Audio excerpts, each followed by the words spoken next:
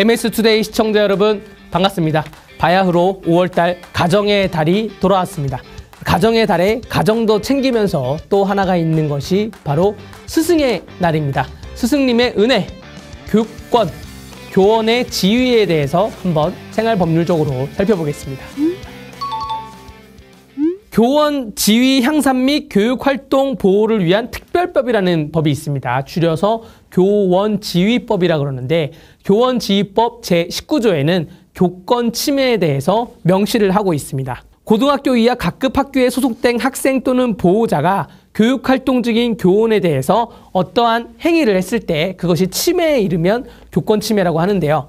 일반 형법에 속하는 뭐 공무 방해나 협박이나 손괴나 업무 방해 또 일반 뭐 성범죄나 정보통신망법 위반에 해당되는 이러한 법률을 위반했을 때 선생님에게 어떠한 형법상 행위를 했을 때 그때는 교권 침해가 당연시 되고요. 이 이외에도 목적이 정당하지 아니한 민원을 반복적으로 제기하는 행위, 교원의 법적 의무가 아닌 일을 지속적으로 강요하는 행위, 그 밖에 교육부 장관이 정하여 고시하는 행위 라고 되어 있습니다. 생활지도에 불응하여 의도적으로 교육활동을 방해하는 행위, 또 교원의 영상, 화상, 음성 등을 촬영, 녹화, 녹음, 합성하여 무단으로 배포하는 행위, 교육활동 중에 교원에게 성적 언동으로 성적 굴욕감 등 혐오감을 느끼게 하는 행위, 이런 경우에는 교권 침해에 해당한다고 할 수가 있습니다.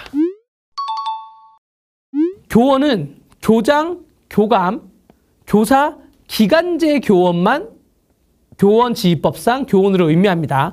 그 밖에 명예교사나 혹은 영양사, 간호사, 뭐 간호조무사, 행정직원 이런 분들은 교원에 해당하지 않습니다. 아니 그렇다고 그러면 영양사나 행정직원분들한테는 이러한 행위를 해도 되겠나요?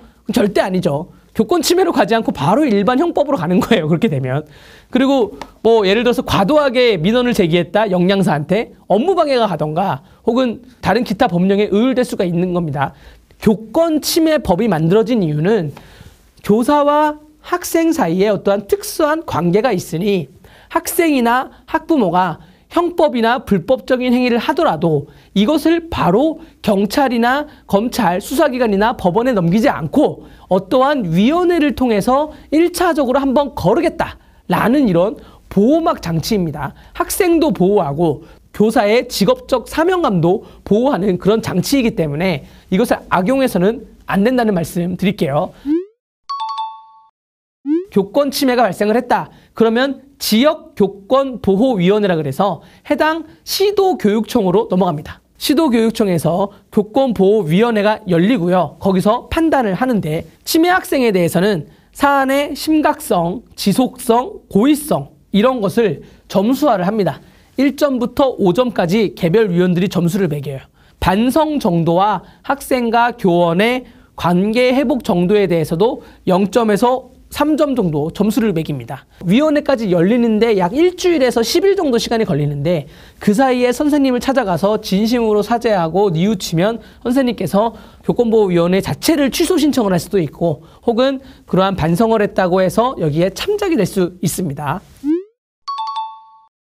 스승의 날을 앞두고 선생님에게 선물을 드리고 하는, 드리려고 하는데 법이 어떻게 될까요? 라는 질문에 대해서 직무와 관련성이 있는 현직 나를 가르치는 선생님 혹은 우리 애를 가르치는 선생님한테는 손편지 정도만 가능합니다.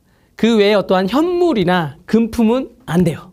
지금 나를 우리 아이를 가르치지 않고 있어요. 혹은 뭐 이전 담임 선생님한테는 5만 원 이하의 어, 어떠한 선물은 가능합니다. 그러는 것이고 내가 졸업을 했다. 나는 이미 졸업을 해서 선생님과의 직무 관련성이 없다. 근데 감사하다. 그러한 경우에는 좀 더 금액이 좀 대폭 늘어나는 걸로 알고 있습니다. 요즘에 김영란법 때문에 나는 감사한 마음에 선물을 했지만 선생님이라는 지위가 어, 공무원이고 또 선생님이고 이거 하기 때문에 오히려 피해가 갈 수가 있어요. 이런 부분에 대해서 꼼꼼하게 검색을 해보시고 잘 알아보시고 선물을 하시길 바랍니다.